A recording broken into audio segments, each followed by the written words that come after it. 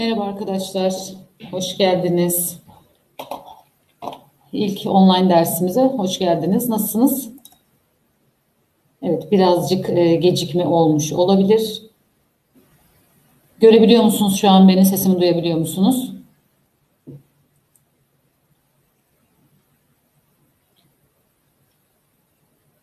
Geldi mi yayın şu an? Tamam. Herkes sesimi duyuyor mu?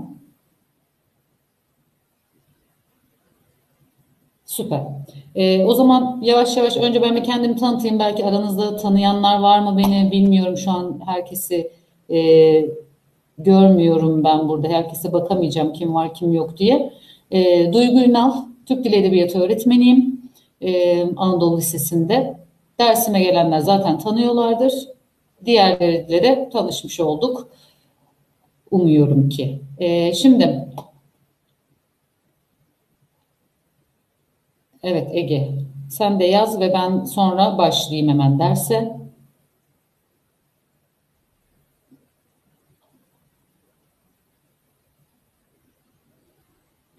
E tabii katılımlarınız zorunlu. E, doğal olarak kimler girdi, kimler e, girmedi bunların da bir yoklaması alınıyor.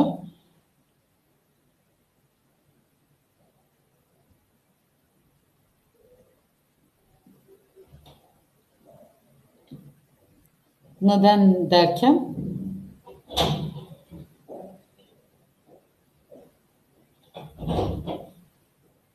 Hani neden bu konu diye neden sorduğumuzu onu anlayamadım şu an. Dönemin başında görüldü diyorsunuz. Üçüncü ünite.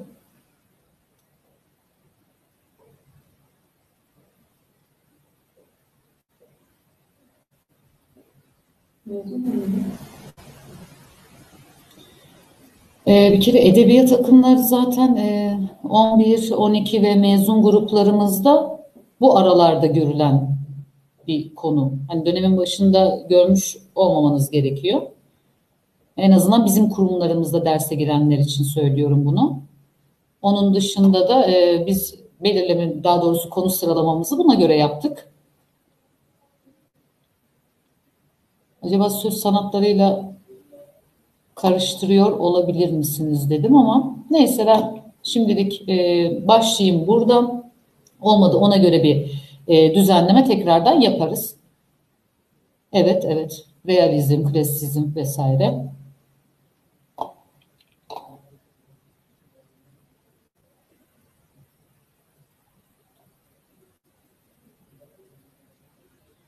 Gökhan Hoca ile işledik diyorsunuz. E, tamam Gökhan Hocanız daha yeni işlemiş olması lazım. Dönemin başında değil. Neyse. E,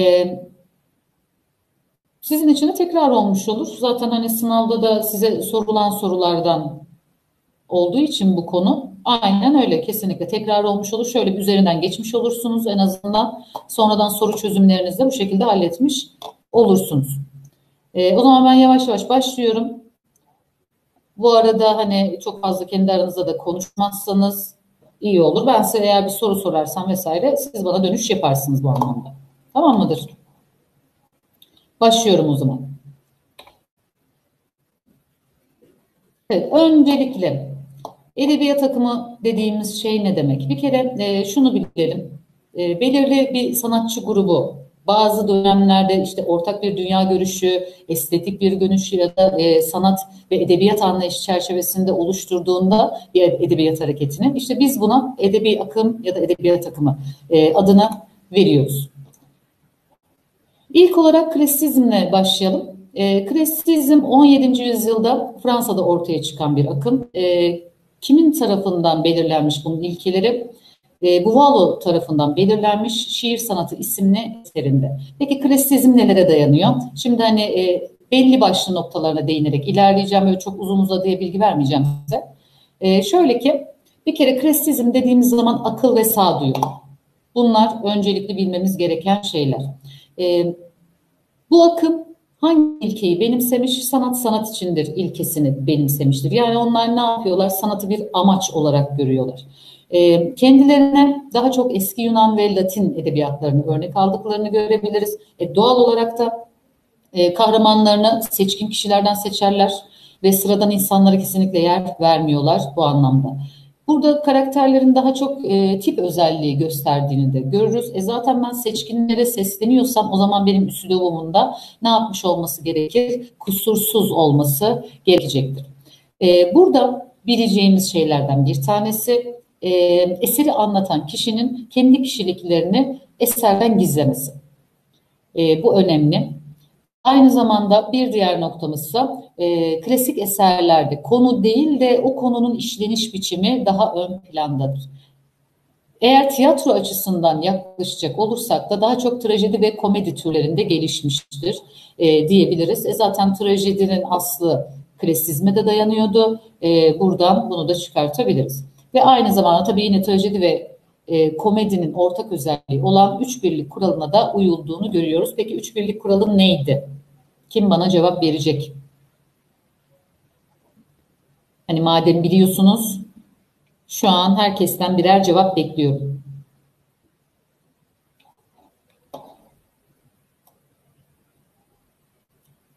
Ama kimse bir şey yazmıyor. Neden?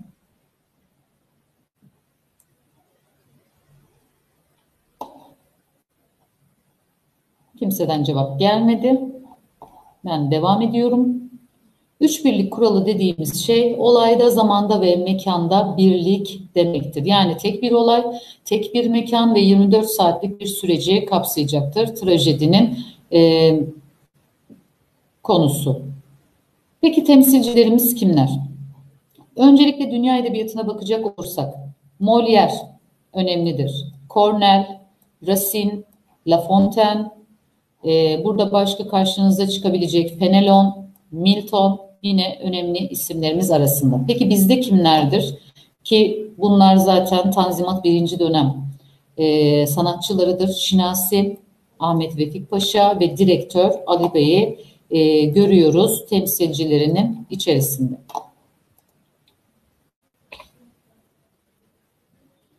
Geldik romantizme. Romantizm 18. E, yüzyılda klasizme tepki olarak e, İngiltere ve Almanya'da ortaya çıkan bir akım ama e, asıl etkili olduğu dönem 19. yüzyıl ve yer ise Fransa olacak. Kurallarını kim belirlemiştir? Victor Hugo, Cromwell isimli eserinin ön sözünde belirliyor kurallarını.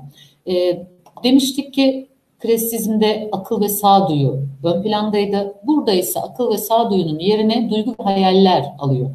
E, doğal olarak kahramanlarda eğer ben yine klasizme tepki olarak doğduysam kahramanlarımı sıradan insanlardan seçeceğim ve bu sefer tip değil de karaktere yer vereceğim karak e, kişilerimin içerisinde. Konularım ise daha çok işte özellikle Hristiyanlık dini, e, yakın tarih ve gündelik olaylardan, günlük olaylardan seçildiğini görürüz. Burada sanatımız bizim toplum için artık yapmaya başlıyoruz. Yani artık biz sanatı bir araç olarak e, göreceğiz romantizmde. E, romantizmde sanatçıların kendilerini eserlerinde gizlemediklerini rastlayacağız ki bunun en güzel örneklerini aslında e, Tanzimat dönemi eserlerinde görebiliriz.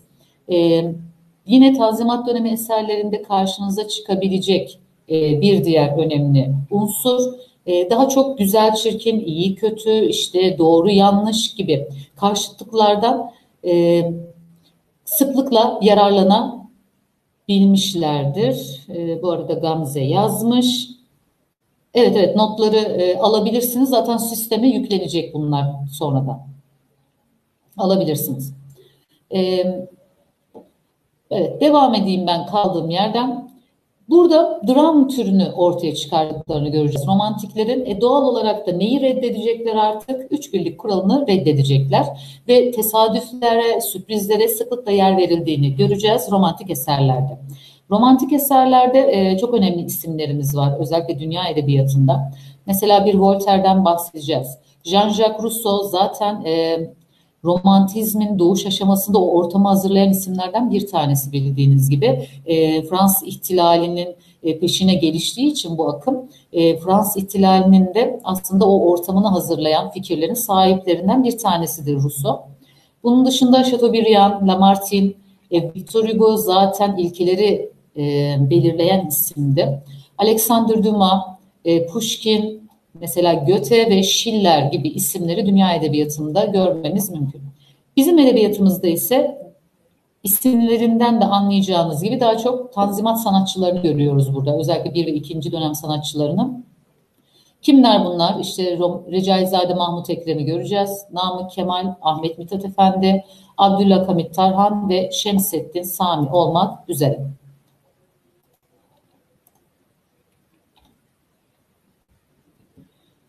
Geldik realizme. E, realizm 19. yüzyılın ikinci yarısında ortaya çıkan bir akım. Yine Fransa'da ortaya çıkıyor ve bu sefer de neye tepki olarak ortaya çıktı? Romantizme tepki olarak ortaya çıkmış olan bir akım. Neye dayanıyor peki?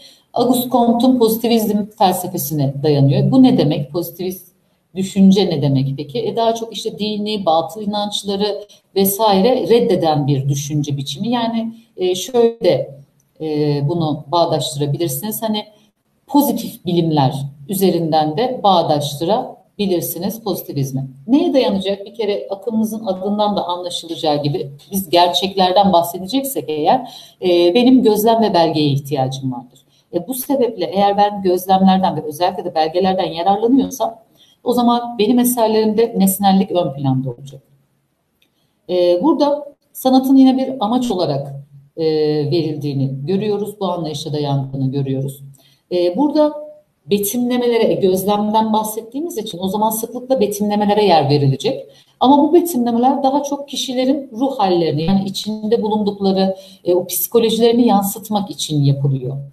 E, e doğal olarak burada toplumsal gerçekleri de yansıtmak esas olacaktır e, diyebiliriz. Peki. Başka neden bahsedebiliriz? Ee, yine realizm için. Mesela kişilerine geçmeden önce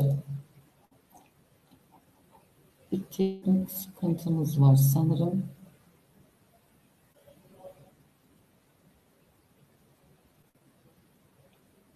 Evet açmıyor burada. Evet isterseniz ben realizmin e,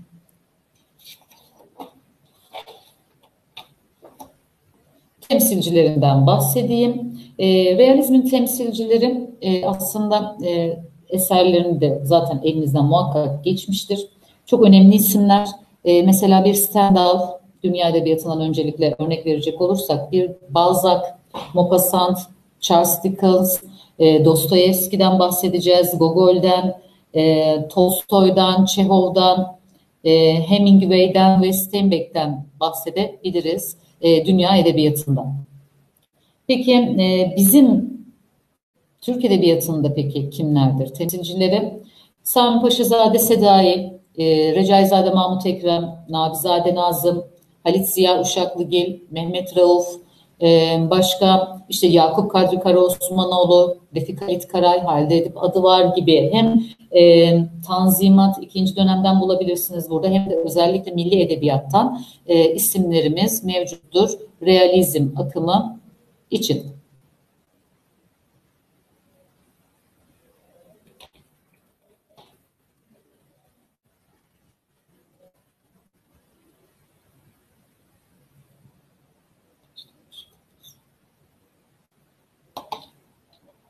Niye açılmıyor? Slaytlarda bir sıkıntı var sanırım. Ee, ben tekrardan şuradan size açmaya çalışayım.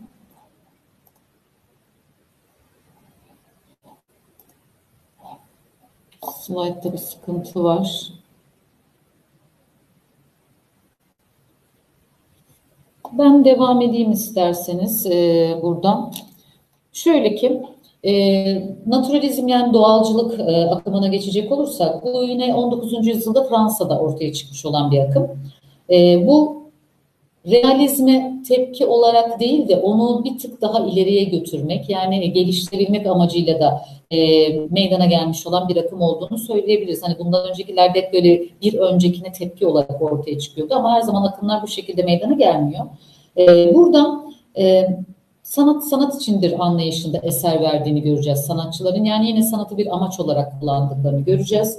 Ee, burada sanatçılar eserlerinde yaşamın yani hayatın o çirkin yönlerini de açıkça anlattıklarını göreceksiniz. E, aynı zamanda burada şöyle bir şey daha var. E, deneysel bir gözlemden bahsederiz biz naturalizmde. Realizmde bir gözlem ve belgeye dayanma vardı ama artık burada deneysel gözlemden bahsediyoruz. Yani e, artık insanı e, da bir deney haline getirdiklerini görebiliriz naturalistlerin. Bu sebeple de özellikle insanın karakter oluşumuna, daha doğrusu e, eserlerin kahramanlarının o karakterlerinin meydana gelişinde soya çekim ve çevre etkisinden yine bahsettiklerini göreceğiz. E, e tabi eserlerinde daha çok kendilerini gizlemiş olduklarını görebiliriz. Ve aynı zamanda e, naturalizm deyince de bu akımın kurucusunun da Emile Zola olduğunu belirtmiş olalım. E,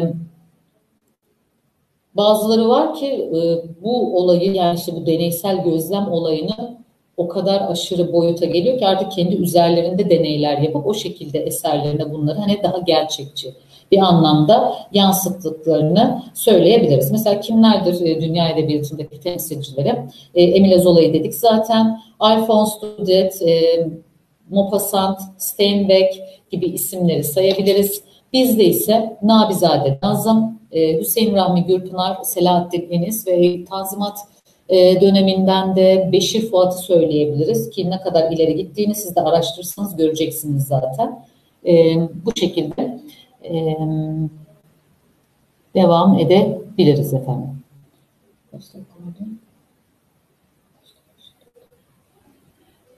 Evet. O zaman şöyle söyleyelim. Ee, sıradaki ismimiz daha doğrusu sıradaki akımımız Parnasizm olacak. Parnasizm realizmin şiire yansımış bir biçimi. Yani bu ne demek? Ee, yine biz e, gözlemlerden yararlanacağız demek. Düşünceye önem vereceğiz demektir. E, doğal olarak ben şiire yansıtıyorsam bunu, benim için gözlemdir, düşüncedir ön plandaysa o zaman e, biçim güzelliğine de önem verdiğini göreceğiz Parnasyenlerin. Ahengi nasıl sağlıyorlar peki bu adamlar? Daha çok sözcüklerin dizilişiyle sağlıyorlar. E bu sözcüklerin dizilişinde nelere dikkat edecekler? Yani ölçü, uyak ve ritim onlar için çok önemli olacak. Ve dediğimiz gibi yine sözcük diziliminde de ahengi yakalayacaklar. Yani tamamen bir biçim güzelliği ön planda e, Parnasyen eserlerde. E, yine tabiat önemli ve tabii ki şiirde yine tasvir önemli. Yani betimleme önemli. E, sanat sanat içindir anlayışını göreceğiz. Parnasyenlerde kusursuz bir dil ve mükemmel bir şiiri hedeflediklerini de söylememiz lazım. Peki burada bizim e, temsilcilerimiz kimler? E, dünya edebiyatından bakacak olursak Guter, e, Bonville, Heredia e, ve Kope gibi isimleri görürken bizde ise e, Servet-i dönemi şairlerini görebiliriz. Tevfik Fikret, işte Cenab Şahabettin ve e, yine Servet-i Fünun bağımsız sanatçılarımızdan olan Yahya Kemal Beyatlı'nın e, Parnasyen eserlerini görebiliriz.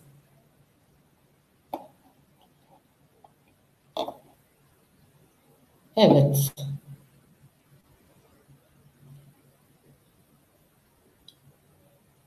Kaçtı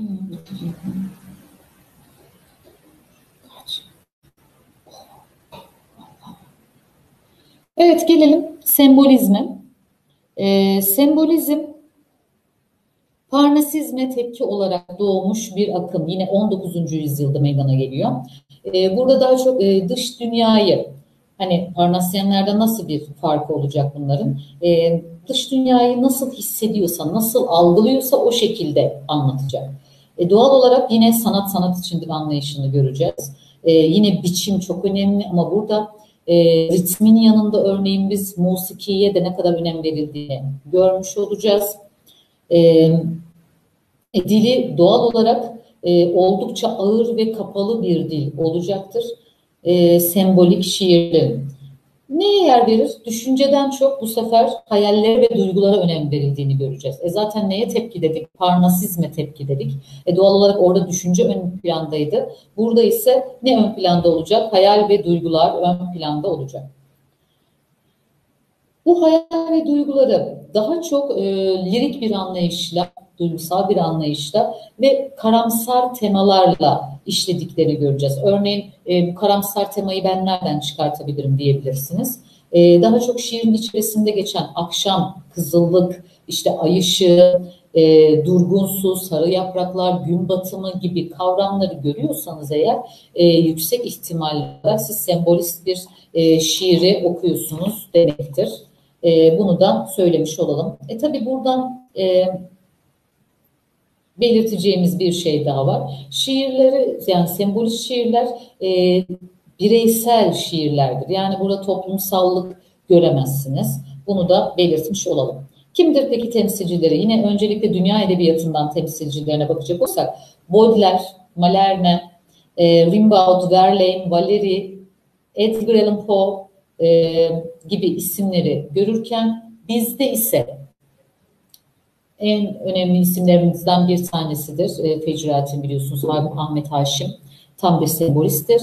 E, bunun dışında yine Servet İfyon'un şairlerinden örneğin Cenab Şahabettin'i görebilirsiniz. Sembolist biçimde yazdığı e, şiirlerini görebilirsiniz. Onun dışında Ahmet Hamdi, e, Ahmet Muhip Dranaz, Cahit Sıtkı Tarancı ve Necip Fazıl Kısaküre'nin de yine sembolist birer şair olduğunu söyleyebiliriz. Başka sırada e, empresyonizmden bahsedelim isterseniz biraz da. Empresyonizm daha çok resim ve e, edebiyat alanlarında etkili olmuş bir akım. E, en çok resim alanında görebilirsiniz bunu. Peki empresyonistler ne yapıyor? Şöyle ki daha çok eserlerinde gördüğünü değil de onun kendisinde uyandırmış olduğu izlenimi yansıtır size. Ee, yani atıyorum e, bir ışığın bir anı diyelim ki saat 3 sıralarında ben bir ağacın ışığın yansımasıyla bir rengini görüyorum. Onu nasıl görüyorsam ya da bende ne uyandırıyorsa o şekilde resmediyorum. Hani diğerleri gibi aslında neyse ben onu yansıtayım gibi bir olay söz konusu değil. E, doğal olarak burada sanatı ne için yaptıklarını söyleyebiliriz. Yine sanat için yaptığını söyleyebiliriz. E, e, doğal olarak bu kadar sanatsal bir yapıt varsa o zaman benim anlatımımda daha çok kapalı bir anlatım olacaktır. Yine ışık ve renkler ön plandadır. Tabii bu edebiyata yansıttığında betimlemelerinde e, bu anlamda yansıtıldığını görebiliriz.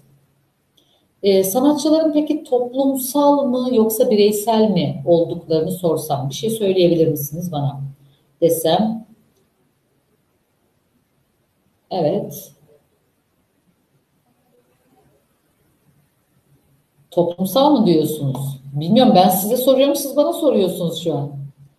Toplumsal mıdır sizce? Bireysel midir? Empresyonist? Bireysel dedik. Başka?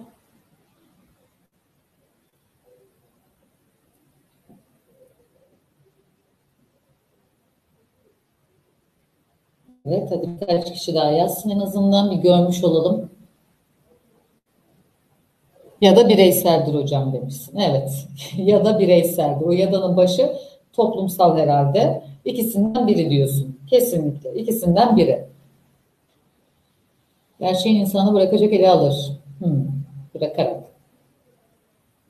Tamamdır. Evet doğru. Empresyonistler bireysel e, sanatçılardır. Yani toplumdan kendilerini ne yapmışlardır?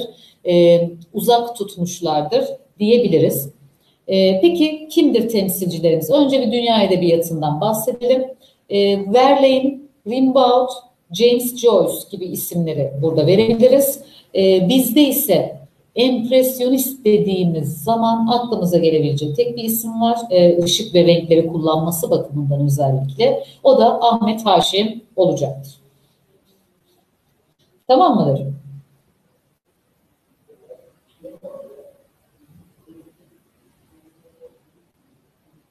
Cenab Şahabettin kısmen olabilir ama hani o asıl e, Parnasyen demiştik. Bazı şiirlerinde sembolist özellikler gösteriyor demiştik. E, sembolizmin de bir tık üstü olarak düşünebilirim ben empresyonizmi. O yüzden hani doğal olarak sembolist bir özellik gösteren şiirleri varsa bu bir anlamda yine empresyonist özellikler de gösterir diyebiliriz. Elhan Işıtay yalnız tam bir sembolisttir onu söyleyeyim. Orada çünkü musiki de vardır. Elhan Işıtay'da.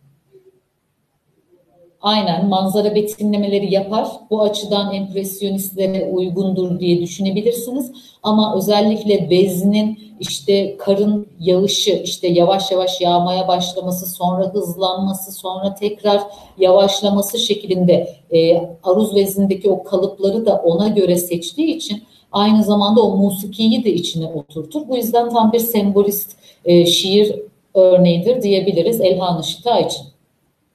Tamam mıdır Ege? Bilmiyorum. Tamamdır. O zaman geçiyorum ekspresyonizme. Ee, diğer bir adı dışa vurumculuk. Ee, neye tepki olarak doğuyor? Empresyonizme tepki olarak doğuyor. Ee, daha çok yani burada kastettiği şey ne? Ee, gerçeğin sanatçının içerisinde olduğunu düşünüyor ekspresyonistler. Yani iç gözlemin, burada dışa vurumunu önemsediklerini söyleyebiliriz. Yani insan en gizli noktalarını, en gizli duygularını e, bu tür eserlerde açığa vuruyor diyebiliriz. E, şiirde ve tiyatroda daha çok etkili olmuş olan bir akım ekspresyonizm. E, insanı işte yaşamdan, toplumdan ve kendisinden soyutlama düşüncesi hakim bu tür eserlerde. E, peki Kimleri örnek verebiliriz ekspresyonistlere? Mesela bir Kafka'yı örnek verebiliriz. E, Eliot'u örnek verebiliriz. James Joyce'u yine örnek verebiliriz. Bizden çok fazla e, hani bir ekspresyonistten bahsedemiyoruz. Yani tam bir ekspresyonizm özelliği gösteren e, bir şairimiz ya da yazarımız vardır diyemiyoruz. E, onu ilerleyen akımlarda zaten bahsedeceğiz. O zaman geçiyorum kübizme. Kübizm 20. E, yüzyılın başında empresyonizme yine tepki olarak doğmuş olan bir akım.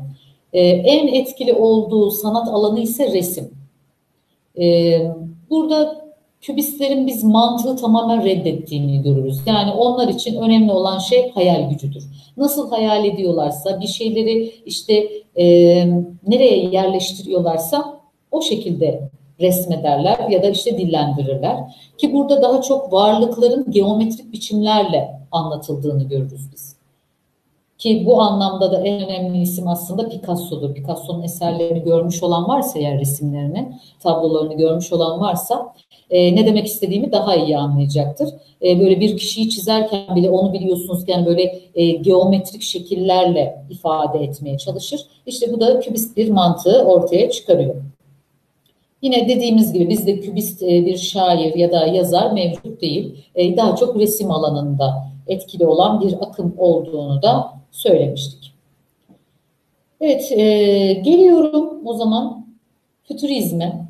Fütürizm gelecekçilik demek. İlkeleri kim tarafından belirlenmiş? İtalyan şair Marinetti tarafından belirlenmiş olan bir akım bu. Burada daha çok makineleşmeden, bilimsel ve teknolojik gelişme sonrasında e, edebiyata bunların yansıtılmasından doğmuş olan bir akım. Ne önemlidir burada eğer ben makineleşmeden bahsediyorsam, bilimsel ve teknolojik gelişmelerden bahsediyorsam ben daha çok eserimin temellerini şunlar üzerine kurarım. İşte hız, hareket ve dinamizm üzerine kurarım. Ki eserlerde de daha çok e, bunların ifadelerine yer verilir. E, çoğunlukla e, hani bir makineleşme, bir makine olma gibi e, imgelerden bahsedecek olursak eğer dil kurallarını reddettiklerini görürüz. E, ne demek bu? Mesela serbest biçimde yazarlar. Eğer bir fütürist bir şairin e, örneğin şiirini gördüyseniz eğer belli bir sıra düzeninden, dize düzeni yoktur onların eserlerinde. Ve aynı zamanda o makineleşmeyi gösterebilmek adına işte kısa kısa veya işte şöyle çaprazlama gidebilen e, dize düzenleri de görebilirsiniz. E, veya bir noktalama işaretlerini örneğin kullanmadıklarını görebilirsiniz. İşte geleneksel örneğin şiir kurallarından neyi söyleyebiliriz? E, mesela, mesela dize başlarında büyük harfle başlama kuralına e, büyük bir çoğunluğunun uymadığını görebiliriz. E, bu anlamda kimlerden bahsedeceğiz? E, özellikle e, dünya edebiyatından Marinetti ve Mayakovski'den bahsedeceğiz. Bizde ise fütürizmin en önemli temsilcisi ve tabii ki bizde e, serbest nazım ve toplumcu şiirin de kurucusu olarak gördüğümüz isim Nazım Hikmet'ten bahsedebiliriz bir fütürist olarak.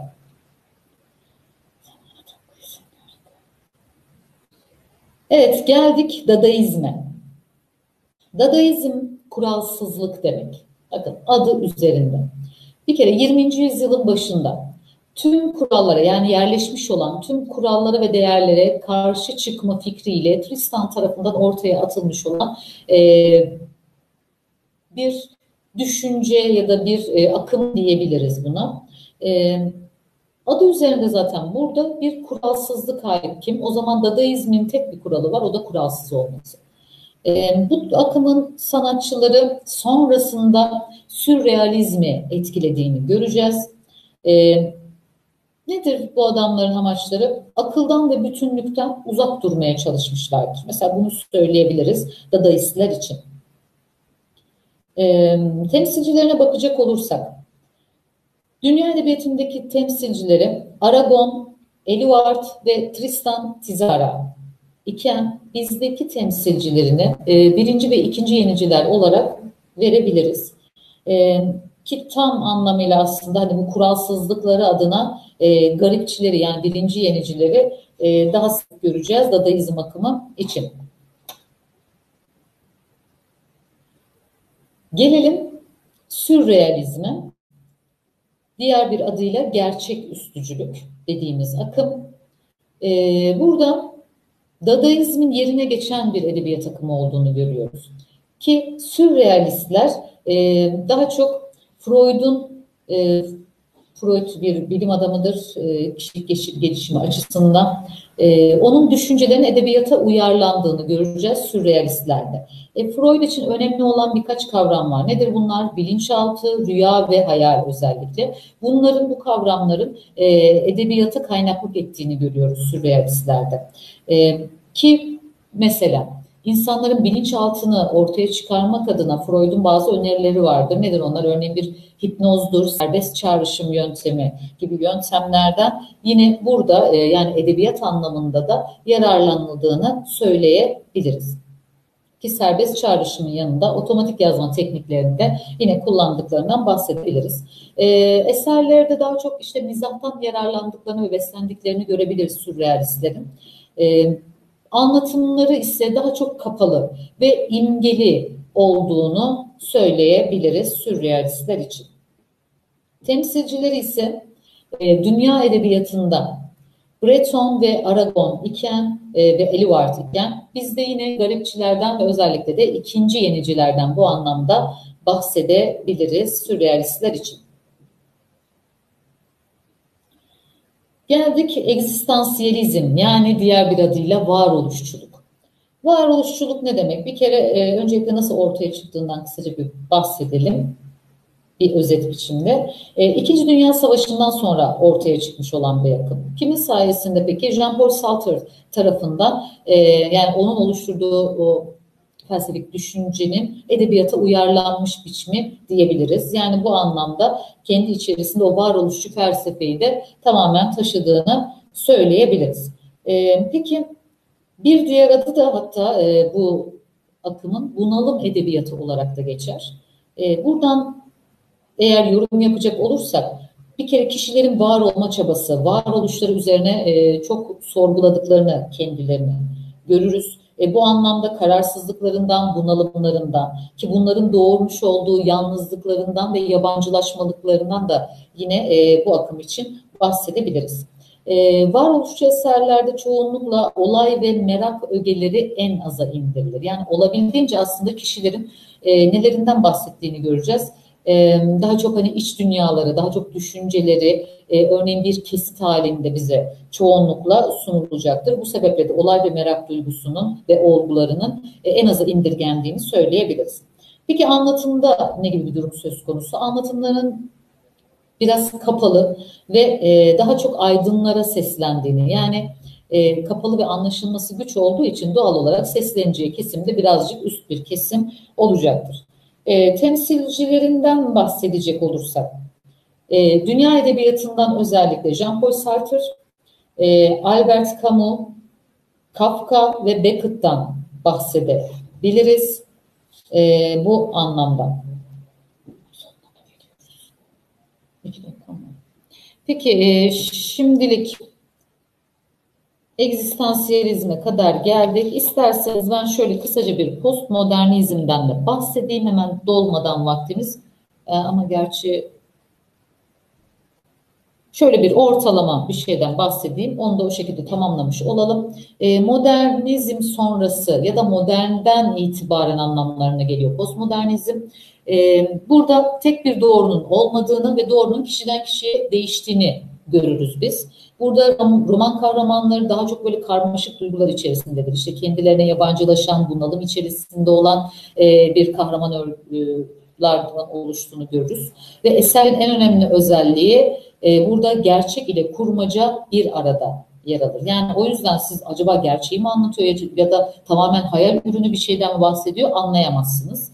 E, ironi ve alay örneğin sıklıkla e, başvurulan e, olgulardır ve başka eserlerden alıntı yaparak e, yine kendilerince bir üslup geliştirdiklerini söyleyebiliriz ki bu anlamda buna e, işte üst kurmaca ve metinsel metinler arasılık e, isimlerini de veriyoruz. Bu az önce bahsettiğimiz olgularla birlikte. Kimdir temsilcilerimiz? Hemen şöyle kısaca bir vereyim. Virginia Woolf örneğin Kafka, Umberto Eco, Albert Camus e, örneklerini verebiliriz. Bizde ise postmodern tüm yazarları burada dahil edebiliriz. İşte Oğuz Atay, Bilge Karasu, Orhan Pamuk, İhsan Oktay Anar, Hasan Ali Toptaş, Yusuf Atılgan, Elif Şafak gibi isimleri yani günümüz isimlerini daha çok duyduğunuz e, isimleri e, postmodernistlere örnek olarak verebiliriz. E, evet e, bu ilk dersimiz e, şimdilik bu kadar. Umarım sizler de bir tekrar etmiş olmuşsunuzdur. Ee, umarım faydasını görürsünüz. Bunun üzerine testlerinizi çözün. E, tekrarınızı zaten yapmış oldunuz. Bence e, çok vakit kaybetmeden bir sonraki dersinizde dinledikten sonra en azından e, konuyla ilgili testlerinizi de e, çözersiniz ve bu şekilde pekiştirmiş olursunuz diye düşünüyorum. Var mıdır bir sıkıntı? Gençler?